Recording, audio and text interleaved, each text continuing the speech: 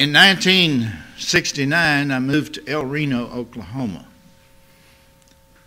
and preached there for a while. And I preached a sermon, I remember one Sunday, on the kind of preaching we need today, using people like Jeremiah,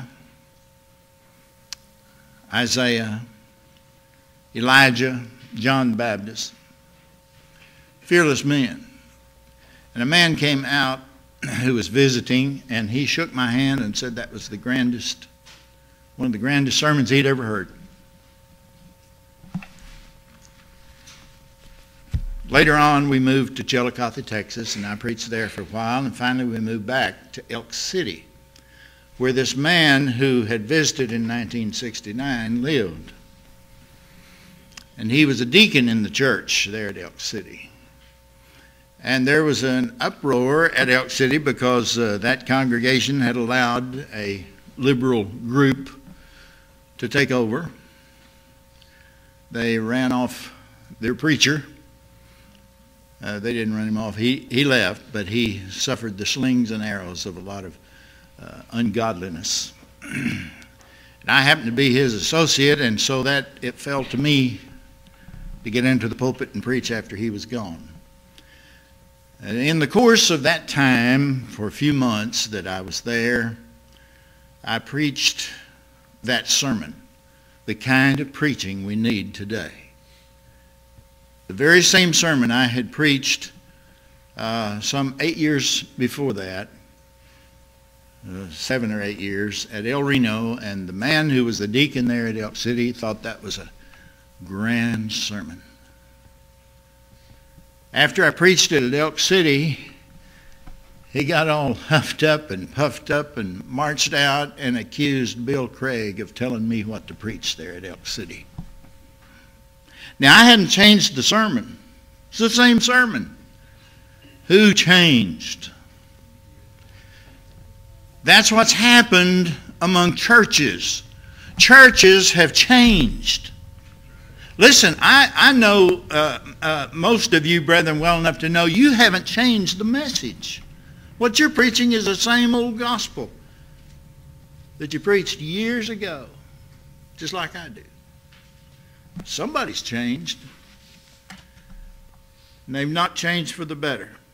My topic is the church in Sardis. Revelation chapter 3, verses 1 through 6. And unto the angel of the church in Sardis write, These things saith he that hath the seven spirits of God and the seven stars. I know thy works, that thou hast a name that thou livest, and art dead. Be watchful and strengthen the things which remain that are ready to die, for I have not found thy works perfect before God. Remember therefore how thou hast received and heard, and hold fast and repent. If therefore thou shalt not watch, I will come on thee as a thief and thou shalt not know what hour I will come upon thee. Thou hast a few names even in Sardis, which have not defiled their garments, and they shall walk with me in white, for they are worthy. He that overcometh, the same shall be clothed in white raiment, and I will not blot out his name out of the book of life, but I will confess his name before my Father and before his angels. He that hath an ear to hear, let him hear what the Spirit saith unto the churches. And I think you've noticed that is the final admonition of these letters. He that hath an ear to hear, let him hear. In other words, take heed. Jesus said of the people in his day, This people's heart is waxed gross, and their ears are dull of hearing, the eyes they've closed, lest at any time they should see with their eyes, hear with their ears, and understand with their hearts, should be converted, and I should heal them. That's what hearing means understanding. And what he's saying here, not only he that hath an ear, not a physical ear, this is a spiritual ear. Let him hear, let him understand. You better understand what the Spirit is saying unto the churches. According to Brother Foy Wallace, he said the history of the city of Sardis, this is from his uh, commentary on Revelation. He signed that for me in 1970, and he told me when he signed it, he said, This book represents 40 years of study. He said, When I debated Neal in Kentucky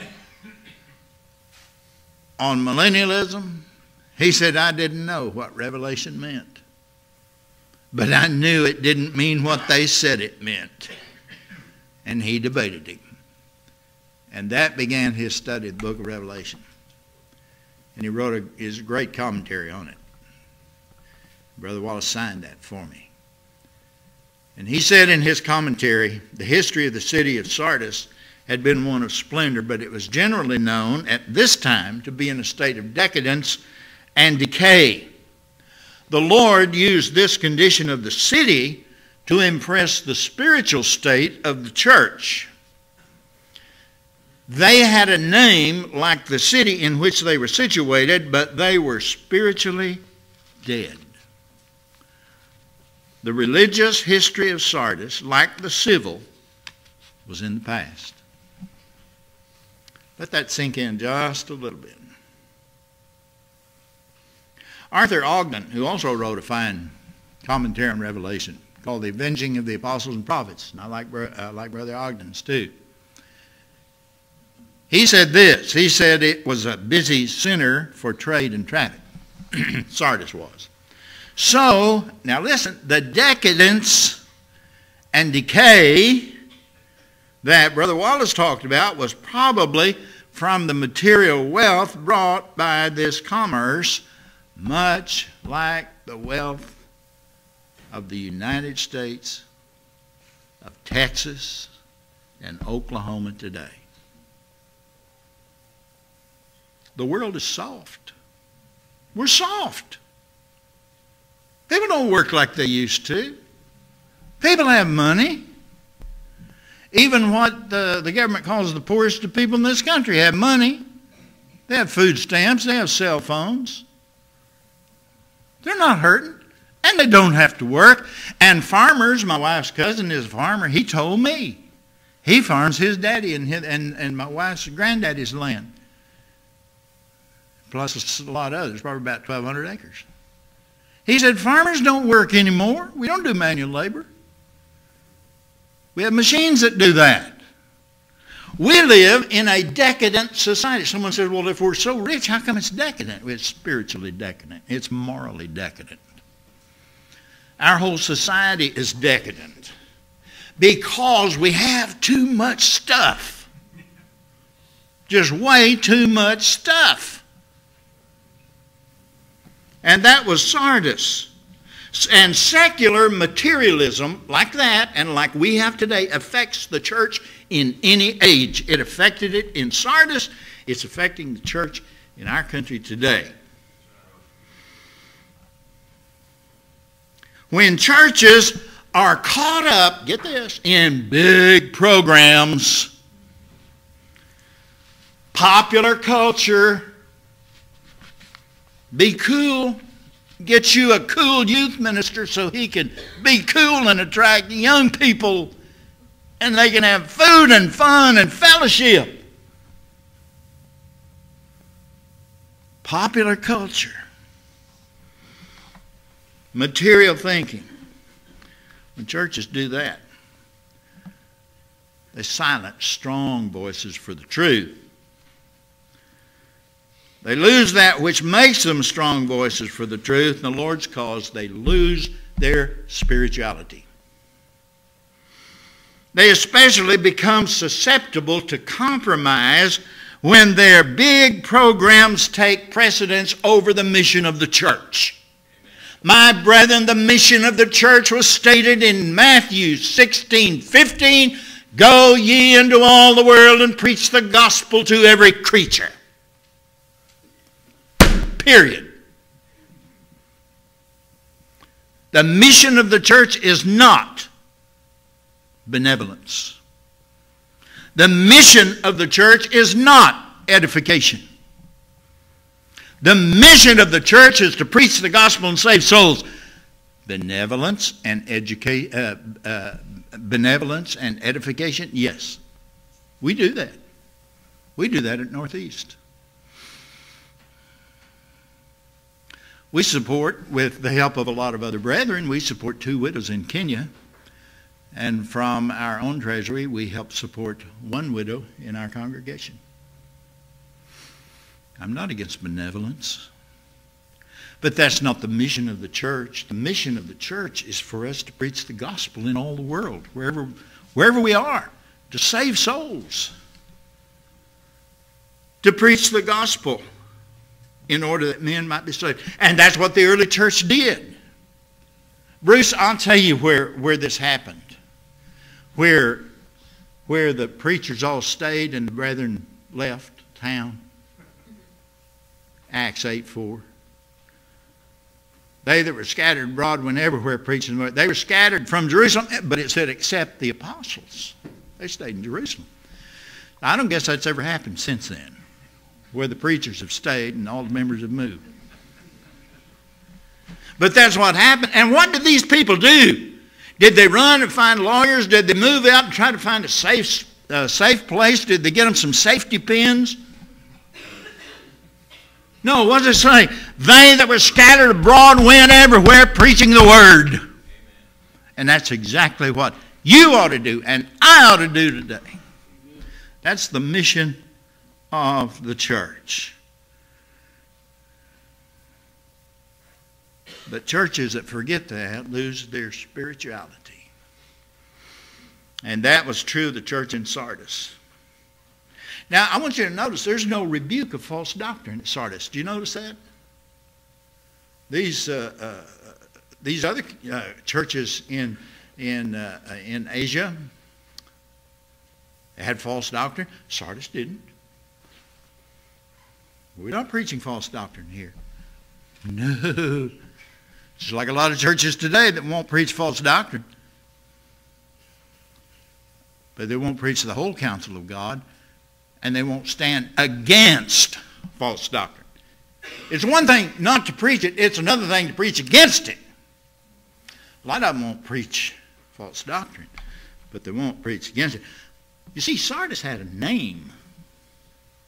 Thou hast a name. Verse 1. You see, Sardis was evidently known among brethren as a sound church, and I'm sure they were they were uh, sound in teaching the doctrine of Christ. But that reputation was a facade. They were dead church. Thou hast a name that thou livest. The brethren all around were going, oh, have you seen what Sardis is doing? Oh, they're doing great things over Sardis. What are they doing? Well, they've got this big program going over there. They've got this one called Trunk or Treat. And uh, on Halloween, you can take your kids up there, and the cars are parked in the, or chariots in the parking lot, and they got the trunks raised. And take your kids up there, and, and, and they'll give you, they give you candy. Oh, they're and they're bringing them in, and the kids love it. Sardis has a big name. Well, you know, Sardis had a preaching school. They've had this preaching school for years. Brother Hearn started this preaching school. They have a big name for this preaching school.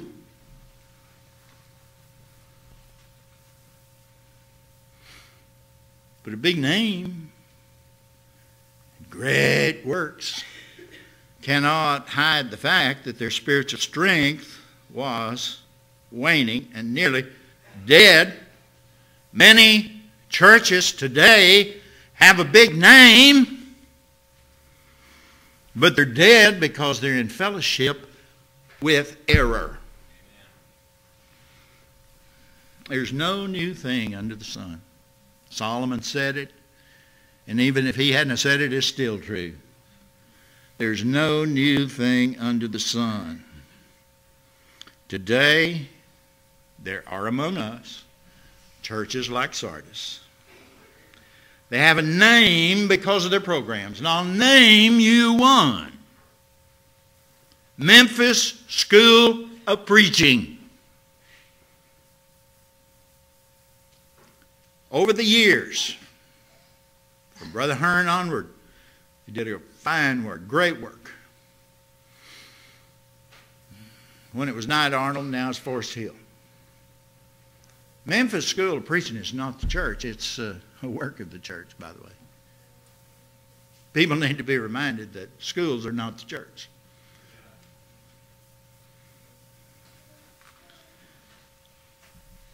And they have a name because of their signature work, which is MSOP, Forest Hill does. They're great preachers, good preachers who've been there. We have some here, don't we? Who were at Memphis. Good preachers, sound preachers, and they've turned out lots of sound preachers.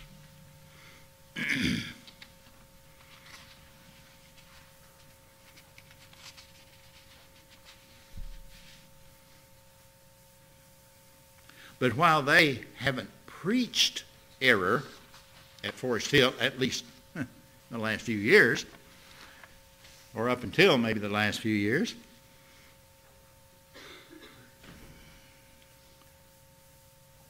they've compromised with error. The error of Dave Miller. Why? Who said it back there? Follow the money. Protect your name so the money will keep coming in.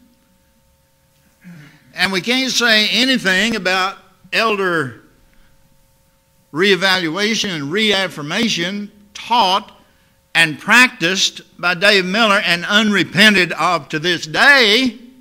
We can't say anything about that. It's liable to hurt school. And we can't hurt school. We got to save the school. They're wedded to their programs. They're certainly not wedded to the church. They're not wedded to the truth. They're wedded to their programs. They have a name, and they got to uphold this name because of their programs. And that is probably no more clearly no more clearly set forth than a diatribe from Keith Mosher at an open forum at the Sunny Slope Church in Paducah, Kentucky on July the 15th of 2006 when he replied to a question about MSOP's relationship with Dave Miller. Now I want you to notice this. The question was, could Brother Cates or Mosher clarify Memphis School of Preaching's relationship with Dave Miller? Now, Lester, if I ask you to clarify your relationship with Dave Miller, could you just give me an answer?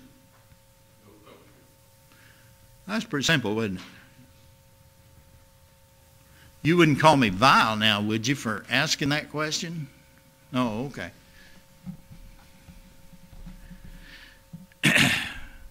Well, first of all,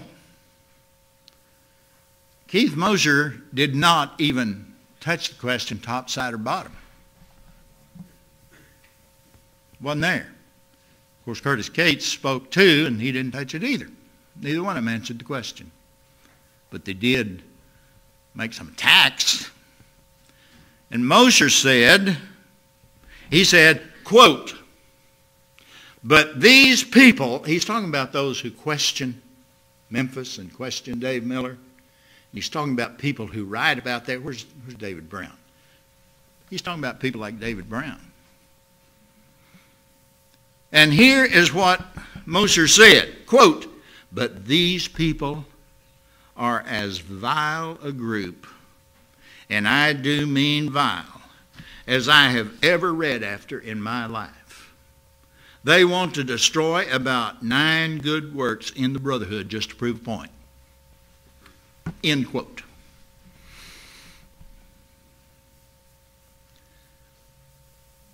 They wanted, I don't know what he's talking about. I, he didn't name the nine, what he called good works. I suppose one of them would have to be Memphis School Preaching. But I don't know. But what's he defending? Well, I'm sure Apologetics Press would also be one of those works. What's he defending? He's defending works, not defending the truth, not defending the Bible, not defending the Lord's church, he would destroy the truth, the church, to save his works.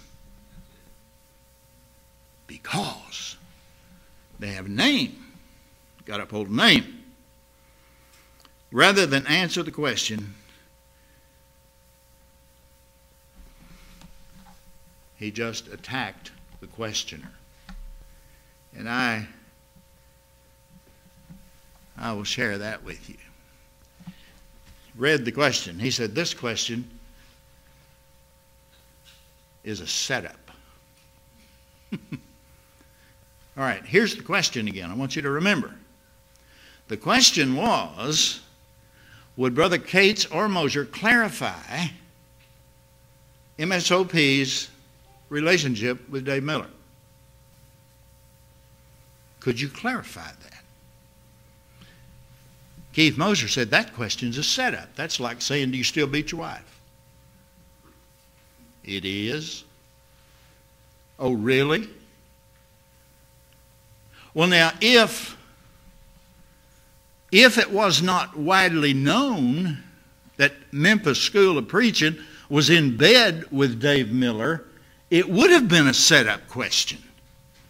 But everybody knew then and knows now that Memphis School of Preaching fellowships Dave Miller. How could it be a setup?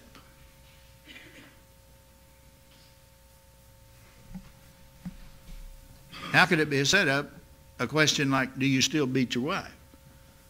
Be like saying, do you still fellowship Dave Miller? They didn't ask that. They said, would you clarify? Of course, he didn't answer it, and neither did Curtis Cates. So there are churches among us today, like Sardis, chief of which is Forest Hill in Memphis, Tennessee. Verse 2, he said, Be watchful and strengthen. Be watchful and strengthen the things that remain which are ready to, that are ready to die, for I have not found thy works perfect before God. Like Sardis, there are churches today which are spiritually dead but have some signs of life in a few members, scattered among the churches that have compromised the truth in our day. There are doubtless many saints who are still alive, but will not be alive long without lifting their voices against the errors in those churches. In 1976, November, we left that big church in Elk City and established another congregation because of their liberalism.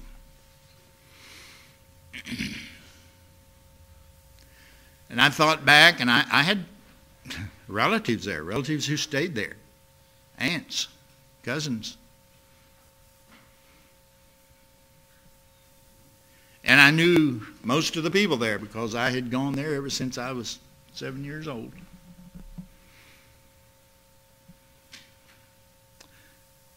And I've often thought about those people through the years. And I've had people say, well, you know, old brother so-and-so, he, uh, he stayed there, but he doesn't believe that. Well, he doesn't. Well, he's giving his money there every week. He's contributing. He's putting his money in the in the collection plate every week. He attends all the time. He helps support their preacher. He does all these things. But he doesn't believe that. Well, then he must be quite a hypocrite. Must be quite a liar. In my mother's family, there were seven children, and all but one were baptized into Christ. That one was my mother's oldest brother, who married a woman. He had been baptized into Christ, but he married a woman and joined the Methodist Church.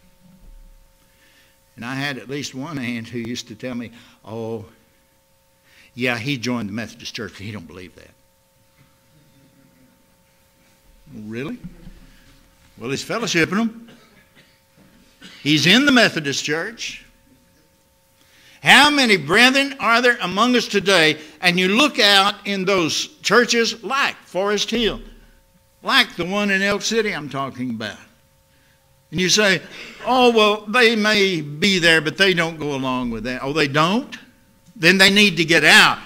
The Lord says, Come ye out from among them and be ye separate. The Lord says, Have no fellowship with the unfruitful works of error, but rather rebuke them. Unfruitful works of darkness, but rather rebuke them. So if you're going to stay there, you either rebuke them or get out. And if you don't rebuke them and you don't get out, you become one of them. And your garments are soiled. Period.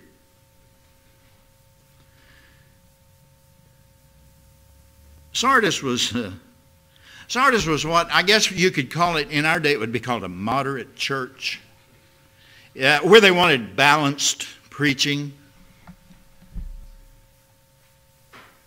They don't teach error, but they don't rebuke it either.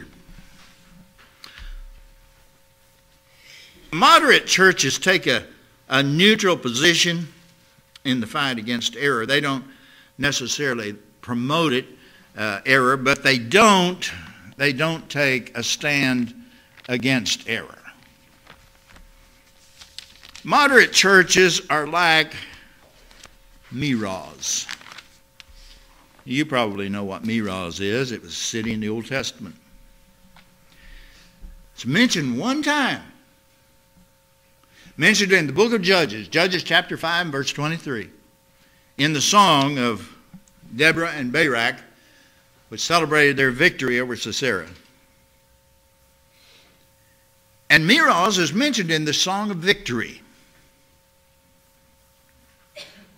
In Judges 5:23 it says, "Curse ye Meroz, saith the Lord, the angel of the Lord. Curse ye bitterly the inhabitants thereof, because they came not to the help of the Lord, to the help of the Lord against the mighty.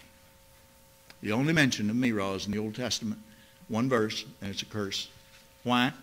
They didn't come to help the Lord in his cause. They kept quiet, like moderate churches do today. And those moderate churches, of course, will will uh, suffer the same fate. They'll be cursed. Faithful members of churches which will not strengthen the things that remain are duty bound to sever their fellowship with those churches. Don't stay in a church and don't, don't lie to yourself and stay in a church and say, I don't go along with what they're doing here. I don't believe this, but I'm not moving. Because you're just deceiving yourself when you do that. Sardis had worked. Sardis had been a working church. But the Lord said, I've not found thy works perfect before God. They had a big front had big programs. They had their their food giveaway and they had their clothes giveaway and this giveaway and that giveaway. And brethren, those of you especially who are preachers who who uh, uh, will be in your study and your phone rings or somebody knocks at the door and they say, I'm I'm going through and uh, I'm I'm here in Denison, Texas, along the Red River and uh, on my way to California, and uh, we came from Montana, and and we just need some help. So we came down from Montana on our way to California. People think And, and you know there's a lot of brethren who think that the church is just a, God, Christ died for a soup kitchen. And most people in the world think, because of the social gospel and the denominational world, and what a lot of our brethren have done, that we're here just to give people a handout.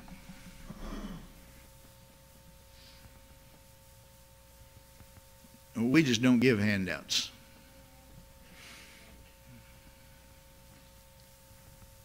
We'll give them a voucher for some gas if we think they're worthy, and we'll give them a voucher for some food at the local grocery store, but we don't give them money. And we don't even do that very often. The church is not a soup kitchen. The Lord didn't die for a soup kitchen. The Lord didn't die for a school of preaching. The Lord didn't shed his blood for a college. The Lord did not shed his blood for a camp. The Lord did not shed his blood for a school. The Lord shed his blood for his church, in which he gathers the redeemed, and which he will save. Ephesians 5.23.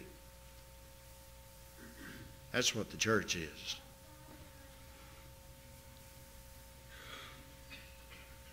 It's not to create big programs. Has a big front, big programs before men, but he said it's not perfect. I've not found thy works perfect. You've worked, but they're not perfect. They're not complete. That's what the word perfect means. In 2 Timothy 3, 16 and 17, Paul said, All scripture given by the inspiration of God, that the man of God may be perfect, thoroughly furnished unto all good works. The man of God may be perfect means he may be complete. It completely furnishes him unto all good works. And that's what he's talking about here. We need to lay aside those unauthorized projects. The Church of Christ Disaster Relief Effort. You've heard of that. CCDRE. Oh, they, they love that alphabetical stuff, those acronyms. And you'd think the Lord died for A, B, C, D, E, F, G. CCDRE.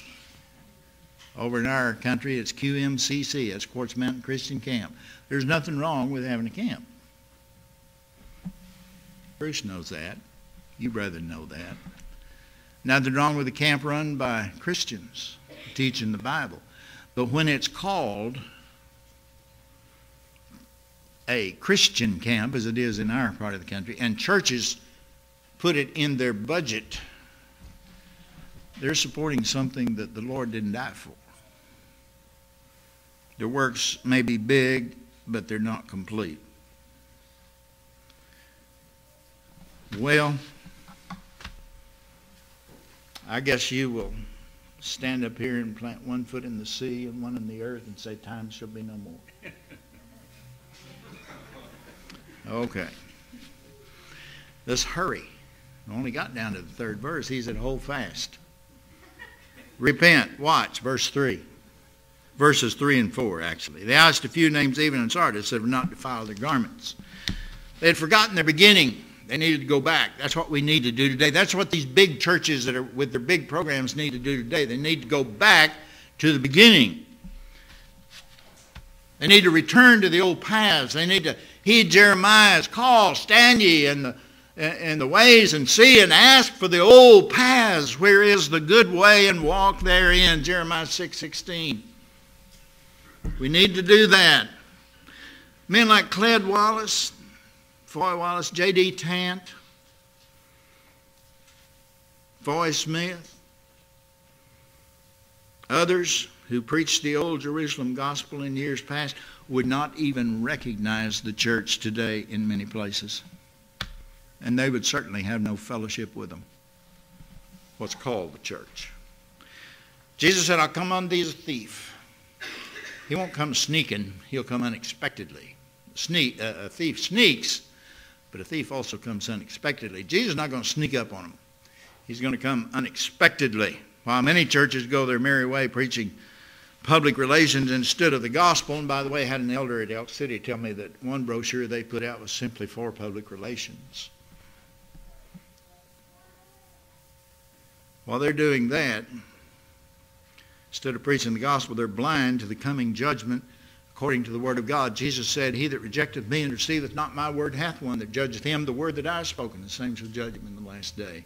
John 12, 48. We won't be judged by our size. We won't be judged by big name. We won't be judged by how many programs we had.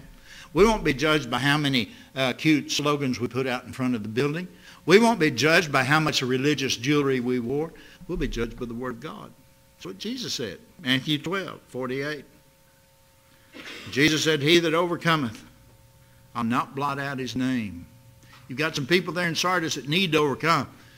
You need to keep your garments undefiled. Verse 5, he said, I'll not blot out his name. Thou hast a few that haven't defiled the garments. I'll not blot out his name out of the book of life, but I'll confess his name before my Father and before his angels. White raiment, metaphor for purity of life. The confession in verse 5, by the way, is coupled with repentance, walking in the light. He that hath an ear, let him hear. Same message to all the churches. then and now, teach and practice the same thing. To hear is to understand. Matthew 13, 15. Sardis was all but dead, but had some salt in it that could save it. Same is true today. Churches involve themselves in secular and civil pursuits today in the social gospel of the here and now. They're concerned about the social gospel. Only those who still remain true to God's word that are still in those churches can pull them back. But if they can't, they need to get out. They need to get out. We need to return to the Jerusalem gospel. Leave the babble of denominational practices, denominational division, and denominational confusion behind. Get rid of this pulpit minister business. Give that back to the denominations where that language of Ashdod came from. Senior minister, youth minister, my church, our church. Language of Ashdod but I hear it all the time.